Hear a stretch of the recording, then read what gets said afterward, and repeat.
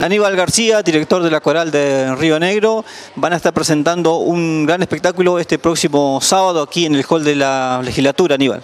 Vamos a estar presentando un espectáculo de primer nivel. Eh, merced a la organización conjunta de extensión parlamentaria de la legislatura y la Universidad de Río Negro, vamos a estar cantando el coro de la universidad con Marcelo Balcells. Marcelo Balcells, que es un ex Opus 4 eh, que los vietmenses los conocemos porque Opus 4 ha pasado por una infinidad de veces y él siempre ha venido a cantar y se, eh, bueno, se está dedicando a su carrera solista. Eh, así que él va a hacer un buen repertorio de tango y de música popular, acompañado en este caso por el maestro Nito Ibáñez en guitarra. ¿El espectáculo a qué hora va a dar comienzo? Esto va a ser el próximo sábado aquí en el Hall de la Legislatura a partir de las 19 horas, de entrada libre y gratuita por supuesto. Va a cantar primero el coro, una serie de obras, después va a cantar Marcelo y después vamos a cantar todos juntos.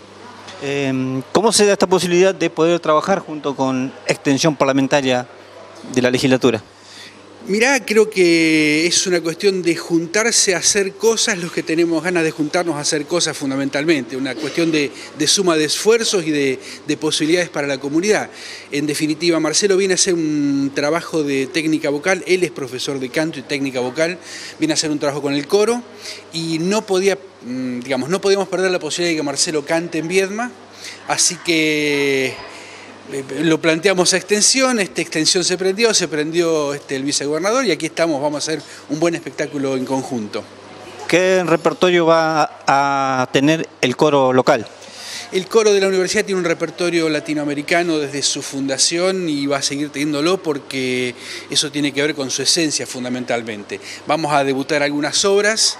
Eh, algunas obras no nacionales este, que, bueno, que tienen que ver con la temática que el coro viene desarrollando, con su repertorio, y creo que junto con lo que va a hacer Marcelo y con lo que después vamos a hacer todos juntos, creo que, lleva una línea de trabajo eh, interesante en cuanto a que es coherente tanto uno como otro.